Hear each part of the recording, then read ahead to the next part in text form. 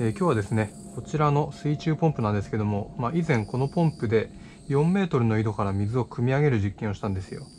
でまあ無事に汲み上げられることは確認したんですけどもじゃあその汲み上げた水を、えー、どこまで、えー、送れるのかっていう今回はそういう実験をしますね。あの井戸からこちらの生活スペースまでは結構距離があるんですよ。果たしてこの距離をこのポンプで水を送水できるのかっていうねそういう実験ですね。あの、ちょっと実験する前に加工していきたいんですけども、まあ、以前ね、ちょっと井戸、これやった時に、この、え導線の配管がちょっと短かったんで、もうちょっと長くしてね、やっていこうと思います。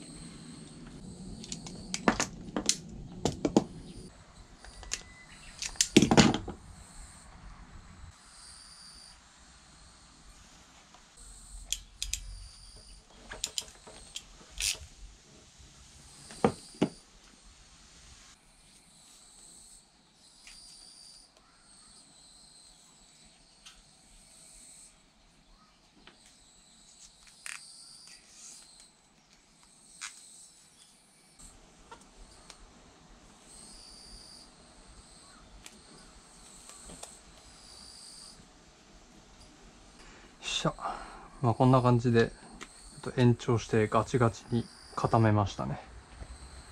じゃあ早速ね、ポンプを入れていこうと思うんですけども、まあその前にね、この井戸、何メートルぐらい深さがあるのかなっていうのをちょっと確認します。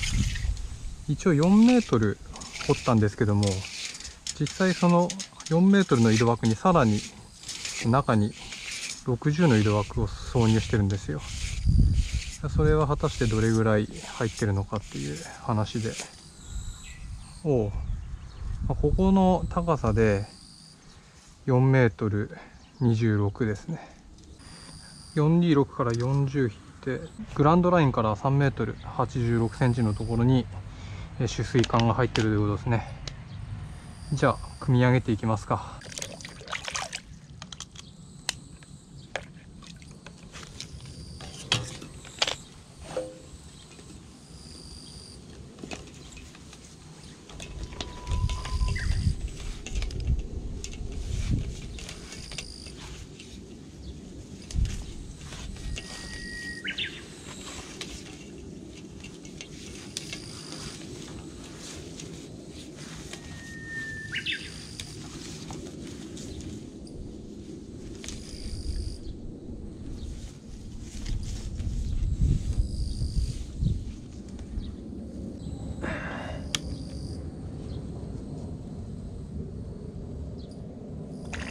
お来た来た来た。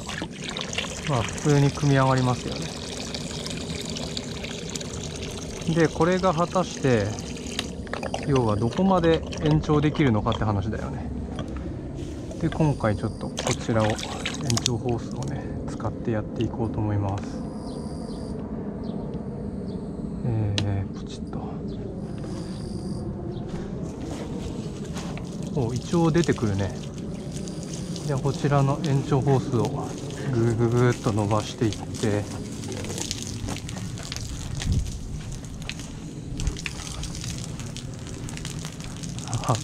あ一応ここまで水来たか。ちょっと弱々しいけども。ああきついかな。ああギリきつい。あ来てる。ちょっと横引きが長すぎるけども、お、来てる来てる来てる。おお、すごいすごいすごいすごい。来てますね。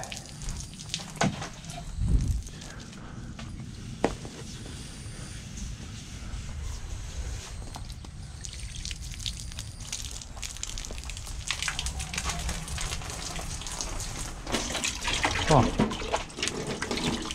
一応、流しまで水持ってこれましたね。これいいですね。じゃあね、ちょっとスイッチを切ります。でね、今スイッチを切ったことによって、えっと、ホースの中の水がこう、井戸の中に落ちていきますね。はい。えー、ホースが空になりましたね。もうこんな感じで、水が全部井戸に落ちたんですけど、で、まあ何をしたいかっていうと、この空の状態で水を送水できるのかっていう実験ですね。あのホースってあの水が満たされてると割とポンプの力そんなにいらずに送水できるんですよ。でも水が満たされてない空の状態で送水するっていうのは結構ポンプのパワーがいるんで、まあ、果たしてそれができるのかという実験ですね。さっきはねこのホースの中にたまり水が入ってたんでそれで押し上げることができたと思うんですけども、まあ、今回はどうでしょうかね。入った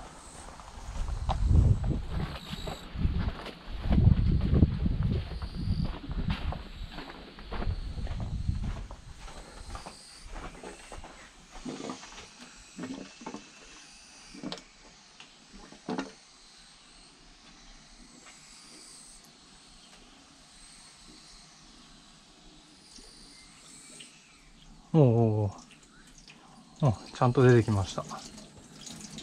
特にねホースが空でも問題なく押し上げてくれますね。やっぱりねあの8000円ぐらいするホースなんでそれなりにパワーがありますよね。うん。一回水汲み出しちゃえばもう安定して、え水を送水してくれてます。ちょっとね最後にこのポンプの消費電力どれぐらいあるのかっていうのを見ようと思います。で今ねホースが空の状態で、えー、スイッチを入れますね。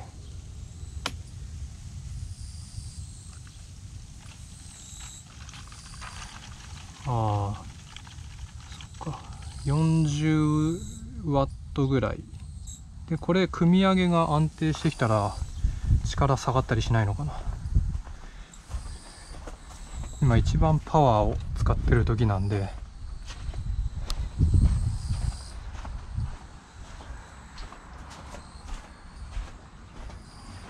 あでもあれだな。今組み上げ安定してるけどもずっと 40W のままですね。うん省エネですよね。交流の井戸ポンプと比べてだいぶ省エネじゃないかと思います。まあ、交流の井戸ポンプ何ワット使うか測ったことないけども。ちょっとこれを短くしようと思うんだけど。こんなに長さ必要ないでしょ。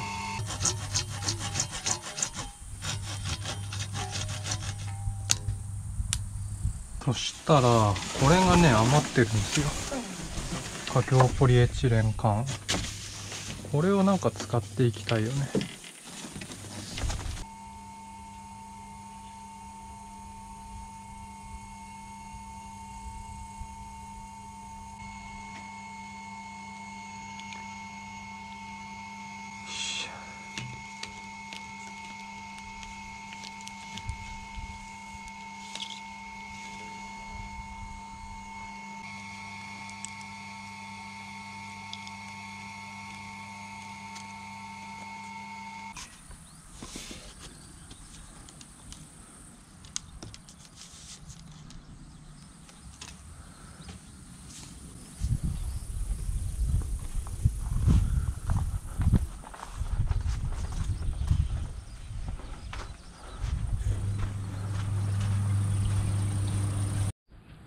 なんだ、録画されてなかった。今ね、あの、配管を埋める穴を掘ってたんですけど、録画されてませんでしたね。こんな感じで、あの、ずっと掘ってきて、今ここまで掘りましたね。入った。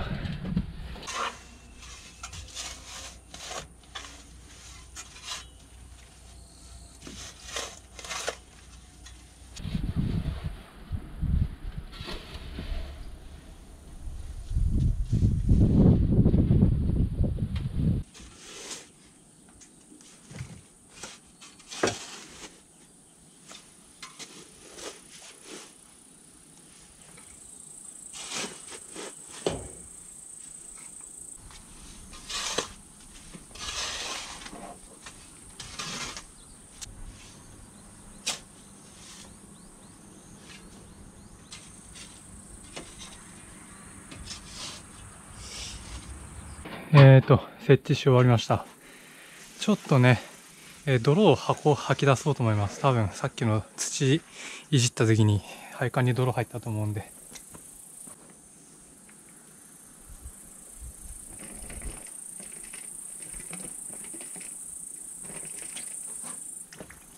おお、来た来た来た。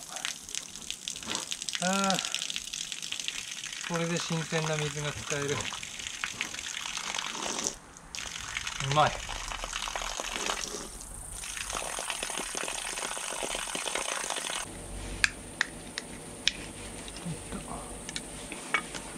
ちょっとねこの線細いからちょっと細い線だと不安だから太い線に付け替えますね。一応 40W ぐらいの消費電力のあるポンプを動かすんでうんまああまりに細いとちょっとまずいかなと。思うんで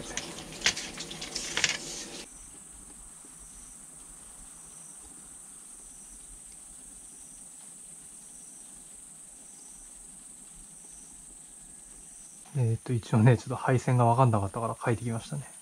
こういうのは最初に書いてやった方が間違いないんで、この配線を見ながらやるか。はい。えじゃあ完成したのでちょっと解説します。まあ、新しくね、こっちの井戸を、まあ、今回向こうまで引いたんですけども、まあ、こっちの井戸ね、4メートルしか掘ってないんで、あの全然水量がないんですよ。だけどもね水に匂いとか何もなくてすごい美味しいんですよね。で一方ね普段使ってるこっちの井戸は、まあ、6メートル入ってる掘ってるんで水量はたくさんあるんだけどちょっと匂いがついてると。でやっぱりねあの匂いがついてるのもちょっと嫌だなと思って今回、まあ、こっちの井戸を引っ張ったんですけどちょっといろいろねえっと装置を作りまして、まあ、こんな感じで一応 AC アダプターで動くんでこの中に AC アダプターを入れてますね、まあ、こんな感じでちょっと AC アダプター小屋なんかも作ったりしてます。でリモコンで動作するんでこれね一応リモコンのアンテナここから出してますね。でこんな感じで、え、井戸がこう来て地面に埋まってでずっと来ますね。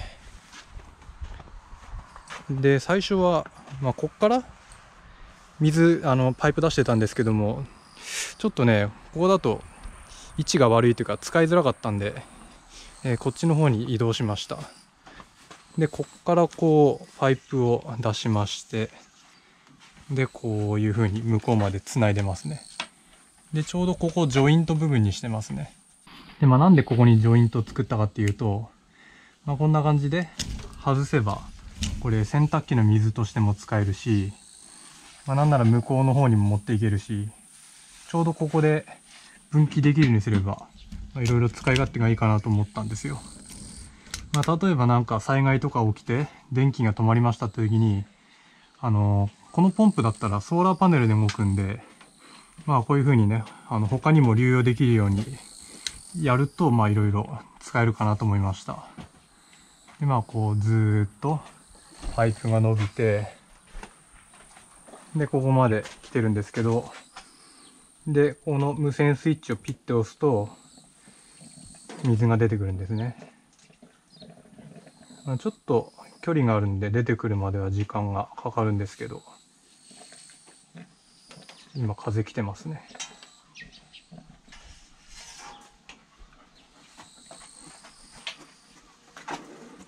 あ、来た来た。こんな感じでね、水が出てきました。ちょっと口に含んでみますか。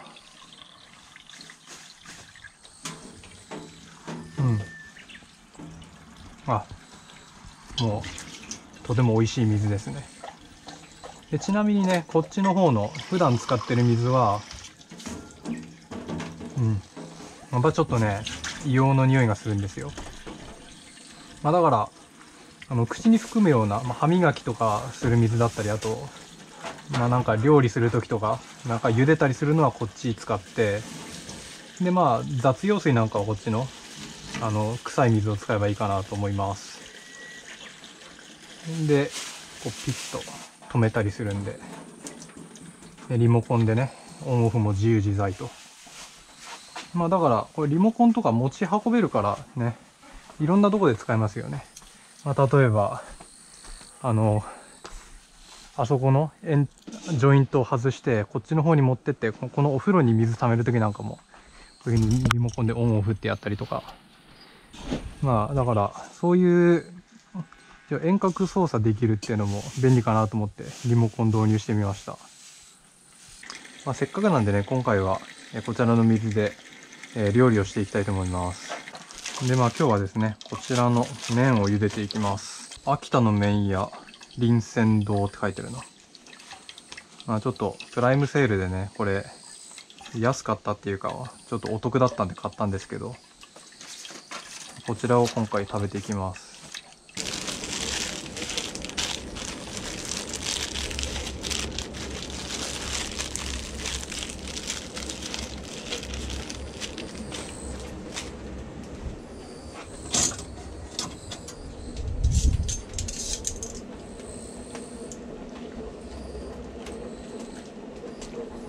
そろそろ、えー麺が茹で上がる時間だからあらかじめ水を出しておきます。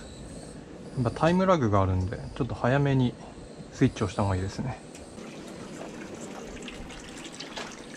えー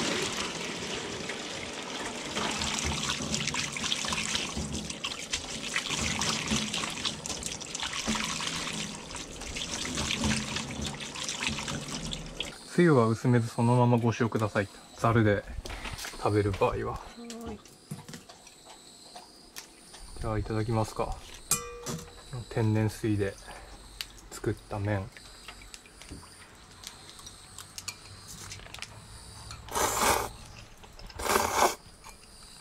いや結構しょっぱいよこれ。うん。あ結構濃いな俺はこの天然水で薄める。やっぱ薄めた方がいいな。うん。うん。決めた方がいい。いやしょっぱいよね結構。ねちょっとさうん。そっちのアルカリイオン水の方も食わして。味違うかな。あこっち。はい。うん。わかんないな。同じ同じだよ。井戸水とアルカリイオン水のタレを比べたけど正直分かんなかったから直接飲み比べてみるか。うん。ああ。ノーマルで？うん。あでもアルカリイオン水の方がやっぱまろやかな気がするな。でもまあい井戸水も美味しいよ。うん。好みの問題だね。あれねそのさアルカリイオン水ってさ成分がほとんど入ってないからその分まろやか。あまろやか。強強制的に要は装置でアルカリにしたわけだからな、まあということで今回は、まあ、新しく引いた水で麺を茹でたんですけども、まあ、普通に美味しいですね。まあこれからはねだからこういう調理とかで使うやつは、まあ、新しく引いたいい水を使って。でまあ雑用水はね今までのちょっと匂いのある水でやっていきますか